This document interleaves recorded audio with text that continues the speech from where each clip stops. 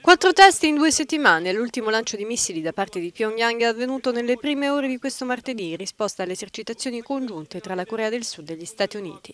L'allarme è stato lanciato da Seoul.